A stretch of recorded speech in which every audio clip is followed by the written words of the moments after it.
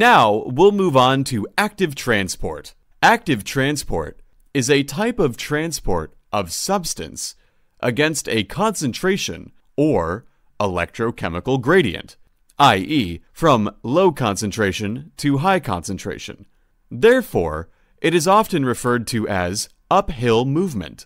Active transport requires energy, or ATP, and a carrier protein.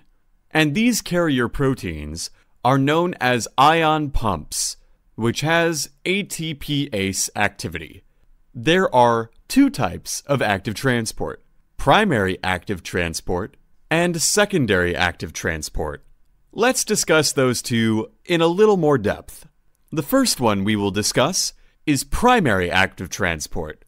In primary active transport, the transportation of a substance across the plasma membrane is directly coupled with hydrolysis of ATP.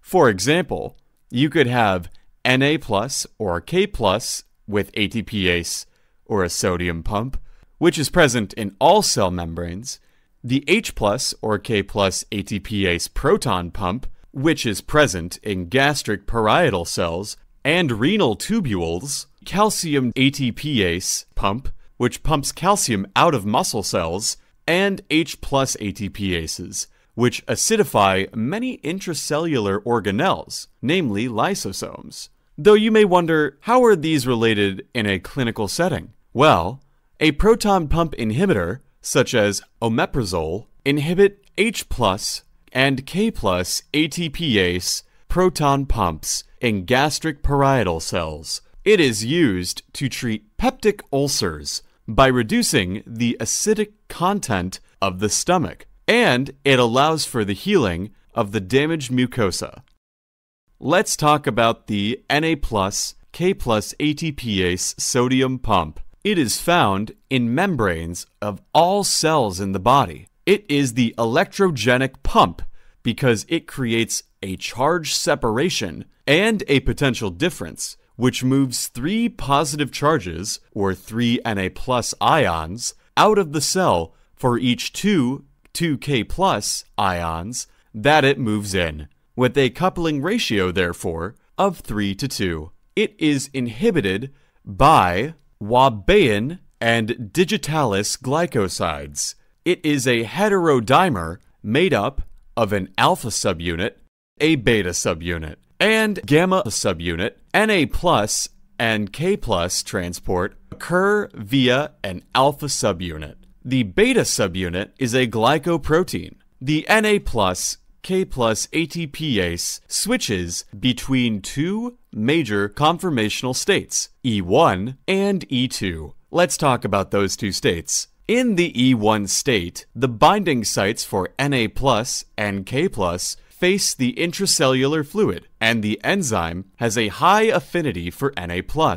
When Na plus binds to the alpha subunit, ATP is hydrolyzed to ADP, with a phosphate being transferred to the aspartic acid, the phosphorylation site. This causes conformational change in the protein, extruding three Na plus ions out of the cell and into the ECF.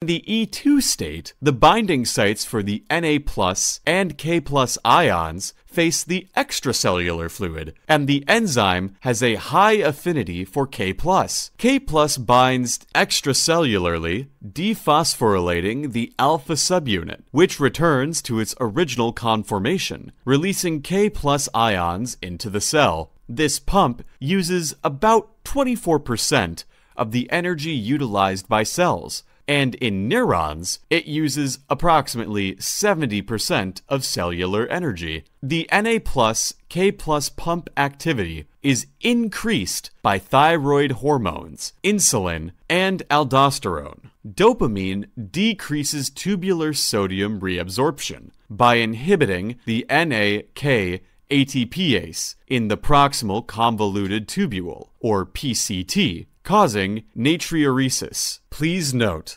cardiac glycosides inhibit the Na plus K plus ATPase by binding to the E2P form near the K plus binding site on the extracellular side, thereby preventing the conversion of E2P back to the E1 state. Now, let's move on to the calcium ATPase or calcium pump. Calcium ATPase or plasma membrane calcium ATPase PMCA functions to remove calcium ions from the cell against an electrochemical gradient. One Ca2 plus ion is extruded for each ATP hydrolyzed. PMCA mainly functions to maintain very low intracellular calcium concentration. The PMCA pump belongs to the family of P type ATPases, which are characterized by the temporary conservation of ATP energy in the form of a phosphorylated enzyme intermediate, hence the name P type. The PMCA and the sodium calcium exchanger, or NCX, are together the main regulators of intracellular calcium concentrations. Calmodulin binds and further activates the PMCA, increasing the affinity of the protein's Ca2 binding site 20 to 30 times. Calmodulin also increases the rate at which the pump extrudes calcium from the cell, possibly up to tenfold. It is in the sarcoplasmic reticulum of muscle cells and the endoplasmic reticulum of other cells. These other cells contain different variants of calcium ATPase that pump two Ca2 plus ions for each ATP hydrolyzed from the cytoplasm to the interior of the sarcoplasmic or endoplasmic reticulum, calcium sequestration. These variants are referred as sarcoplasmic and endoplasmic reticulum calcium ATPase or SERCA, that's spelled S E R C A. Calcium ATPase functions similarly to that of Na plus K plus ATPase, with E1 and E2 states that have high and low affinities for Ca2+. For PMCA, the E1 state binds calcium on the intracellular side. A conformational change occurs to the E2 state, and then the E2 state releases calcium to extracellular fluids. For SERCA, the E1 state binds calcium 2 plus ions on the intracellular side, and the E2 state releases Ca2 plus to the lumen of the sarcoplasmic or endoplasmic reticulum. Note, when PMCA does not function properly, it is associated with conditions such as sensorineural deafness, diabetes, and hypertension. Let's talk now about the H plus K plus ATPase pump. The H plus K plus ATPase is found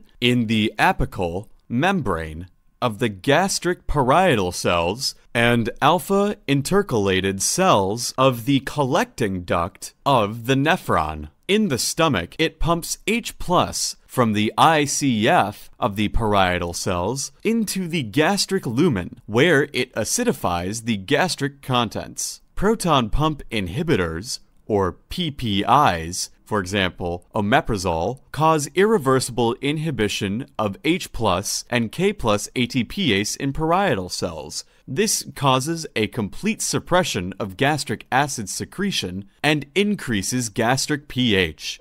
Now that we've talked about the primary active transport, Let's now discuss secondary active transport. The movement of two substances simultaneously across the cell membrane indirectly, coupled to ATP hydrolysis, is secondary active transport. One substance, usually Na+, moves down its concentration gradient, and this drives the uphill transport of the other substance against its concentration gradient. The downhill movement of Na plus provides energy for the uphill movement of the other solute. Thus, ATP is not used directly. Instead, it is used indirectly by the Na plus ion concentration gradient across the cell membrane. The name secondary active transport implies there will be an indirect utilization of ATP as an energy source. Based on the directions of the movement of the uphill solute, secondary transport is divided into two types cotransport or symport and countertransport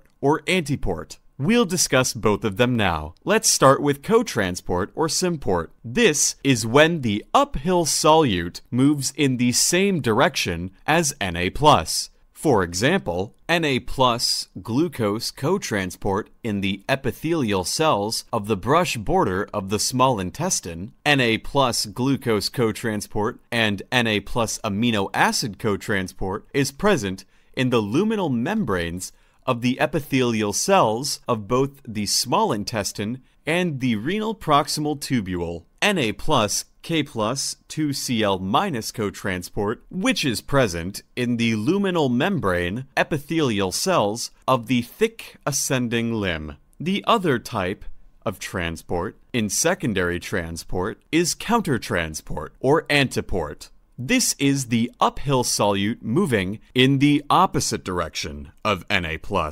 Some examples of this include Na+, Ca2 countertransporter of the heart muscle cells as they move Ca2 against its concentration gradient as Na moves down its concentration gradient.